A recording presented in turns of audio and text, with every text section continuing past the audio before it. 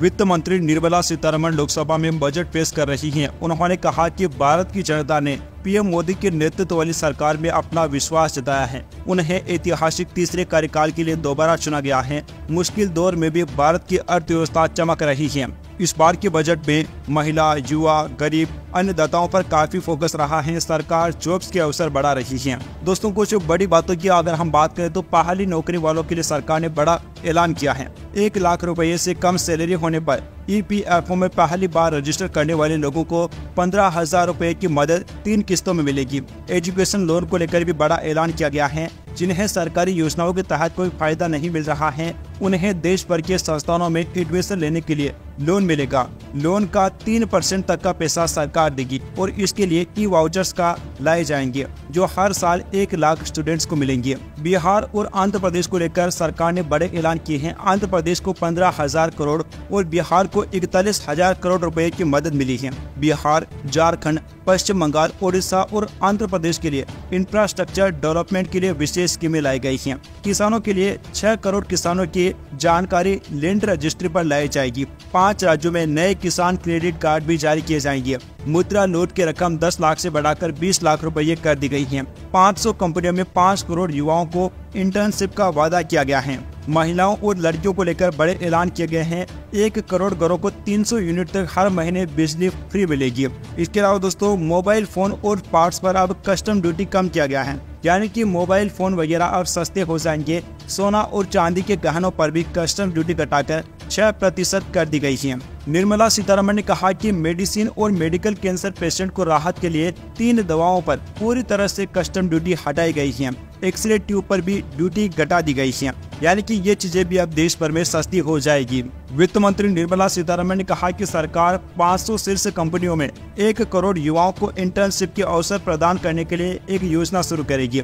इसमें पाँच हज़ार रूपए प्रति माह इंटर्नशिप भत्ता और छह हज़ार रूपए की एक मुश्त सहायता दी जाएगी।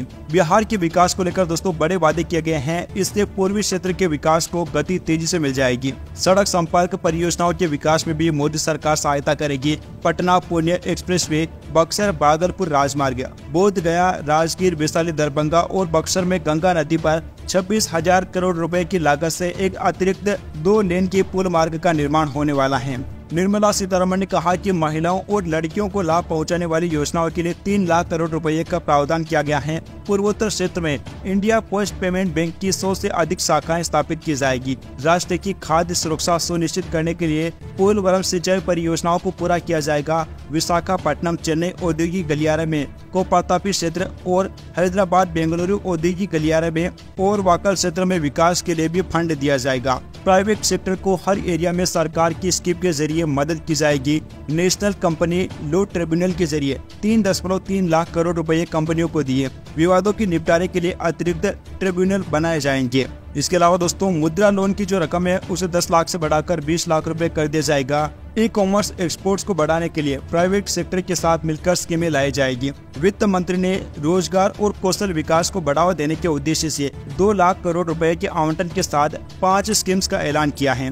उन्होंने कहा कि इस साल शिक्षा, रोज़गार और कौशल विकास के लिए एक दशमलव अड़तालीस लाख करोड़ रुपए का प्रावधान किया गया है। वित्त मंत्री ने प्रधानमंत्री के पैकेज के हिस्से के रूप में महिलाओं के माध्यम से रोज़गार से जुड़े कौशल की घोषणा की है। उन्होंने कहा कि योजनाएँ ईपीएफओ में नॉमिनेशन पर आधारित होगी, जो पहली बार काम करने वाले कर्मचारियों को पहचानने पर ध्यान केंद्रित करेगी। भारत की अर्थव्यवस्था में लगातार शानदार वृद्धि बनी हुई है और भारत की मुद्रास्फीति दर, यानी कि जो महँगाई के दर है, वह स्थिर है। जो कि चार प्रतिशत के लक्ष्य की ओर है। बजट में मोदी सरकार ने कुछ योजनाओं पर प्राथमिकता दी है।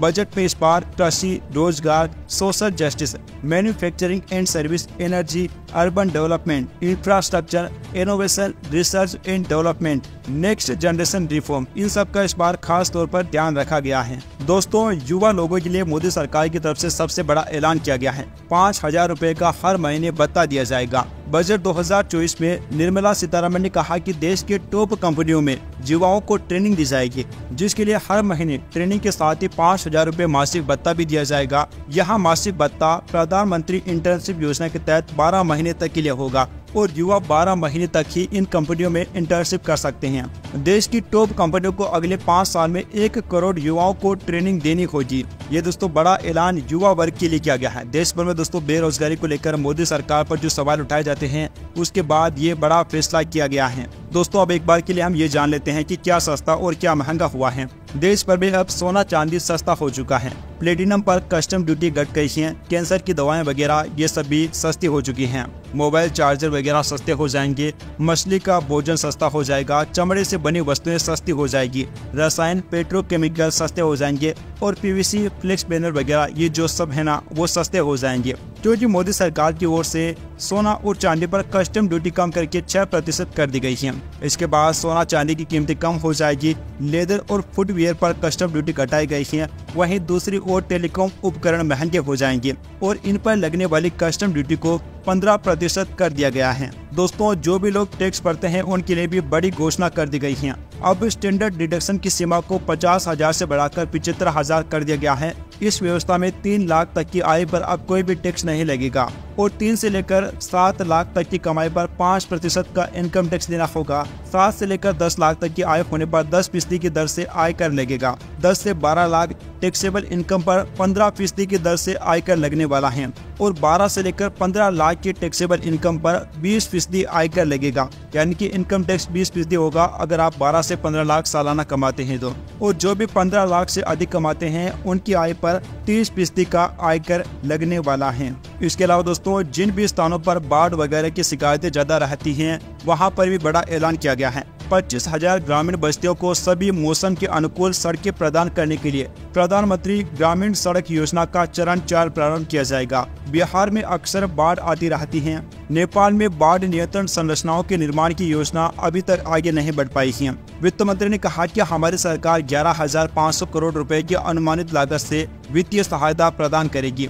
असम जो हर साल बाढ़ से जूझता है, उसे बाढ़ प्रबंधन और संबंधित परियोजनाओं के लिए सहायता मिलेगी। बाढ़ के कारण व्यापक नुकसान झेलने वाले हिमाचल प्रदेश को भी बहुपक्षीय सहायता के माध्यम से पुनर्निर्माण के लिए समर्थन मिलेगा। इसके अतिरिक्त उत्तराखंड जैसे भूस्खलन और बादल फटने से काफ़ी नुकसान हुआ है। उससे भी मदद दी जाएगी। आदिवासियों के लिए भी पीएम मोदी ने बड़े ऐलान कर दिए हैं।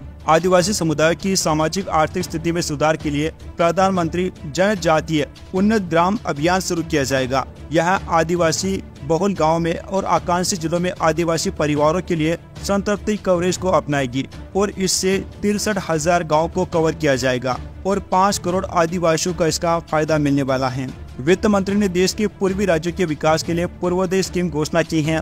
केंद्र सरकार ने बिहार, झारखंड, पश्चिम बंगाल, ओडिशा और आंध्र प्रदेश के विकास के लिए पूर्वोदय स्कीम की घोषणा की है।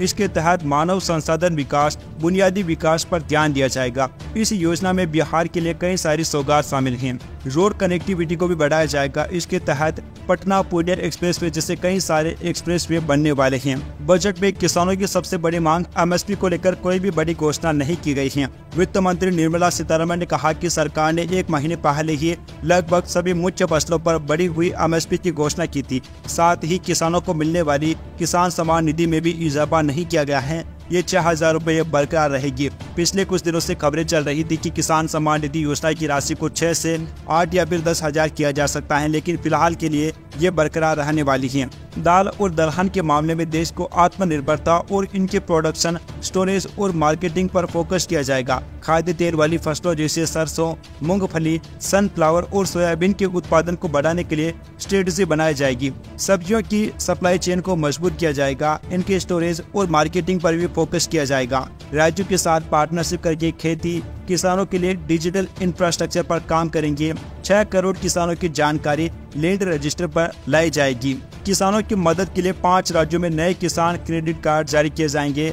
नाबार्ड के ज़रिए किसानों को मदद दी जाएगी। ग्रामीण अर्थव्यवस्था मज़बूत करने पर काम होगा। सरकार ने बताया कि 32 फ़सलों की 109 किस्में लाई जाएगी, जिन पर मौसम की मार का कोई असर नहीं होगा।